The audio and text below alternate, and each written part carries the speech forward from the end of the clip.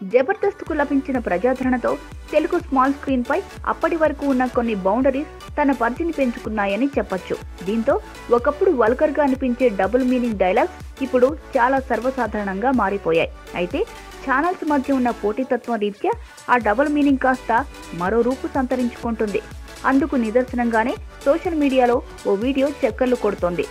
జబర్దస్త్లో ధనాథన్ ధనరాజుగా పేరు తెచ్చుకున్న కమిడియన్ హాట్ యాంకర్ శ్రీముఖితో ఓ కార్యక్రమంలో పాల్గొనగా ఇందులో డబుల్ మీనింగ్ డైలాగ్స్తో రెచ్చిపోయాడు.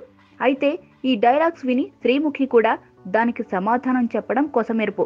నువ్వు ఎవరికి ముద్దు పెట్టావు అనే ప్రశ్నను ధన్రాజ్ వేగా రవికి పెట్టాను అని చెప్పిన శ్రీముఖికి అప్పుడు నీ ఫీలింగ్స్ ఏంటి అంటూ మరో ప్రశ్న వేశాడు ధన్రాజ్. థ్యాంక్ యూ మిత్రమా షార్ట్ ఫిల్మ్లో పెట్టిన ముద్దని చెప్పిన శ్రీముఖి చివరికి నేను పెట్టలేదు. వాడు పెట్టాడు అంటూ పెద్దగా చెప్పగా అంటే నీకు పెట్టించుకోవడంలో అనుభవం ఉంది అంటూ ధన్రాజ్ వేసిన కౌంటర్కు షో హోస్ట్ చేసేవారు కూడా పగలబడి నవ్వారు. అయితే మరి ఇంత చీప్ డబుల్ మీనింగ్ డైలాగ్స్ను ఎలా అనుమతిస్తారు అంటూ విమర్శలు వ్యక్తమవుతున్నా మరోవైపు ఆ బూత్ డైలాగ్లే టీఆర్పీకి కీలకంగా మారిపోవడం శోచనీయం.